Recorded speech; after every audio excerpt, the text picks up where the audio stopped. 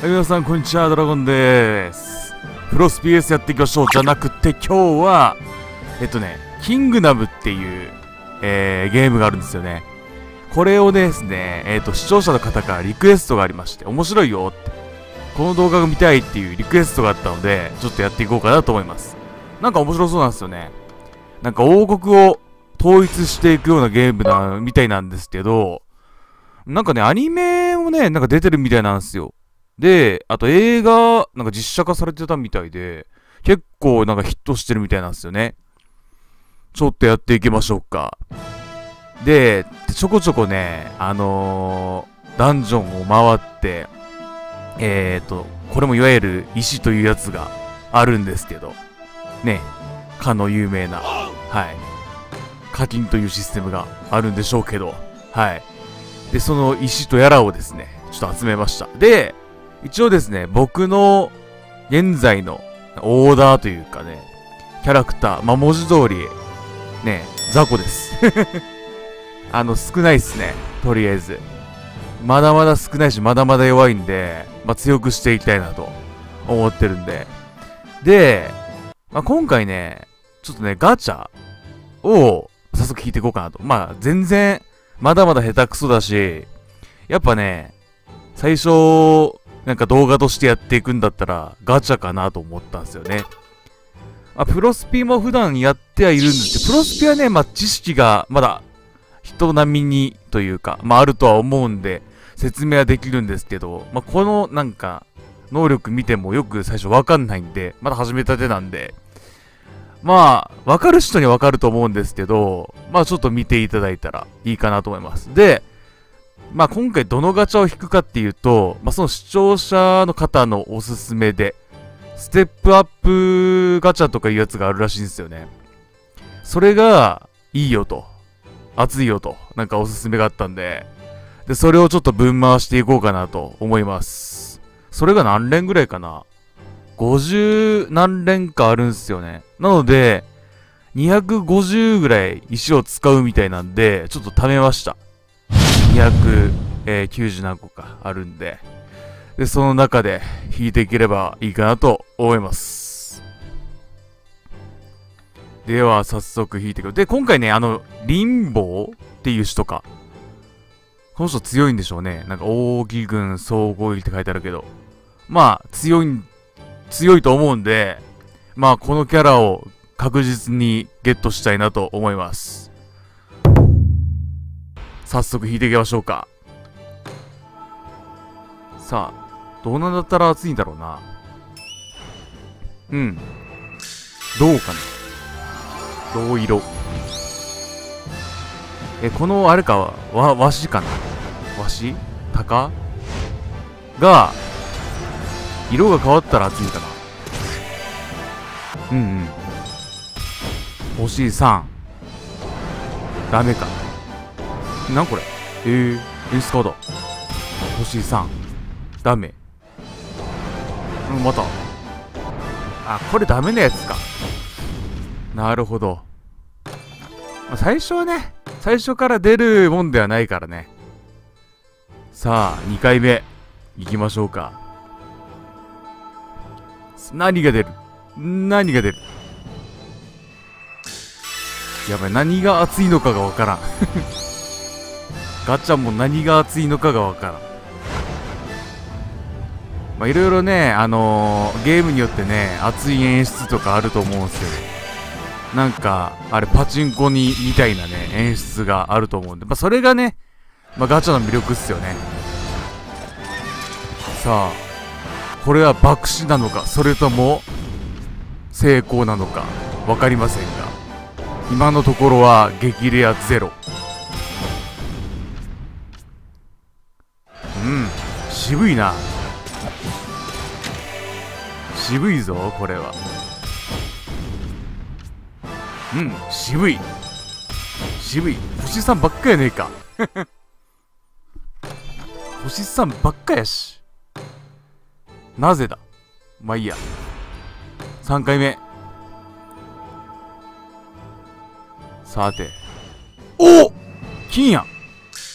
金やん。よし、来い。お金の鷹が出た。おおさてどうなのか？金色液熱いっじゃない？これ。お金。おおい星5ニュー。いいっすね。星4星3星3星3なかなか。星4きた。星3さあなかなか星6が来てくれませんね。うん。なかなかそう甘くはないです。4回目か。いきますか。何が熱いっちゃろ。うん。金色でも星6は出らんやったね。あまたどうだ。うん。どうだろう。さあ熱い演出来いや。熱い演出来い。さあこのキャラは？星3か。なかなか来てくれません。星3ちっこいのかわいいな。あ星4か。うん。いいねいいね。星3持ってるキャラ。かぶってくるねだんだん。お。なんかほ今星星5っぽかったけど違うか。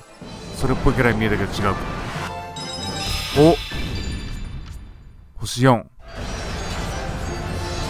いやーなかなか出らんねそう簡単にはね星3これ第4回って10連だったかな確かえ、1、3、4、5、6、7、8、9連か。なるほど。さあ、5回目、早くも5回目に来ちゃいました。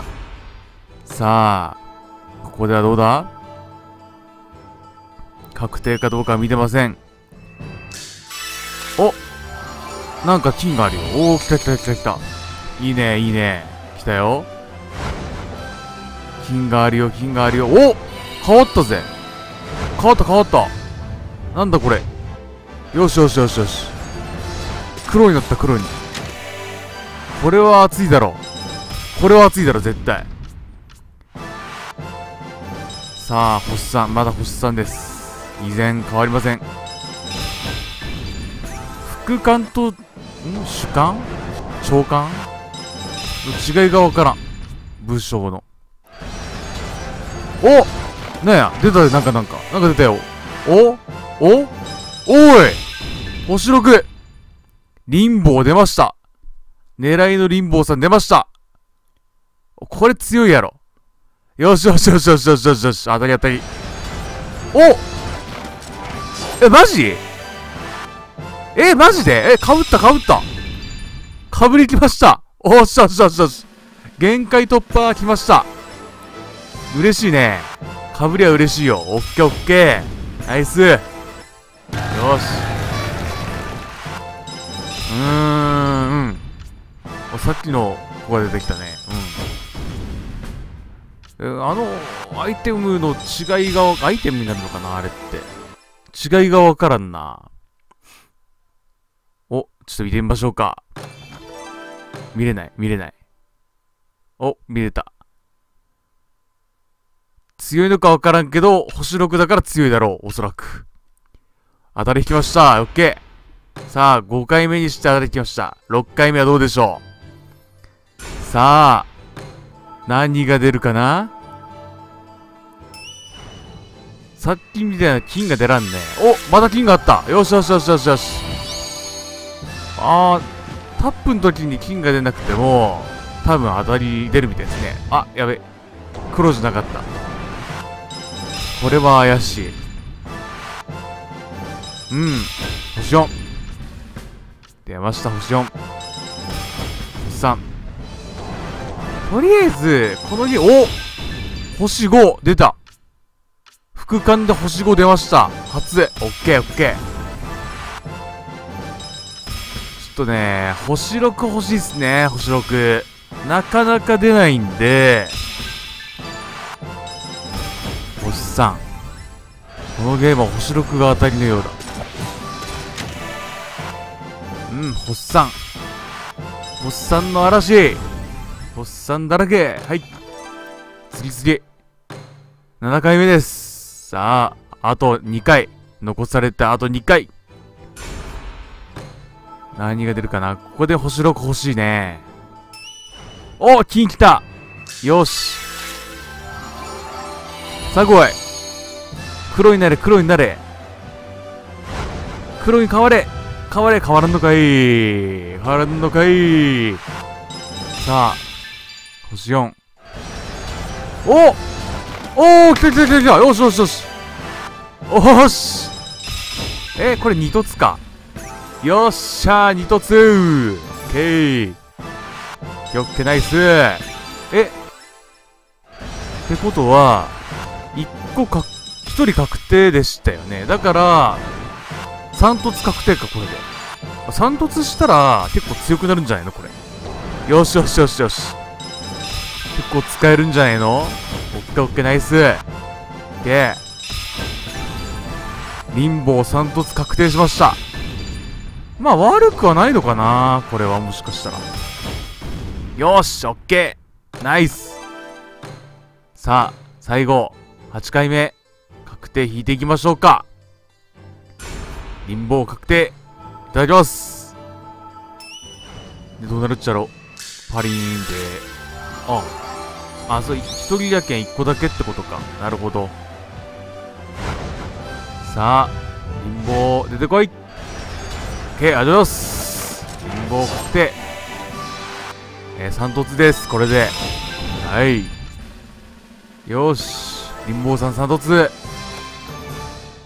という感じかなこのキャラクターが強いかどうかわからないけど、まあ嬉しいね。レア度は高いから。OK でしょう。よし。まあ、とりあえず引いていきました。うん。今回は無事にリンボーさんを引くことできたんでよかったですけど、まあね、今後もね、ちょっと石を貯めて、いろんなキャラを集めていきたいなと思います。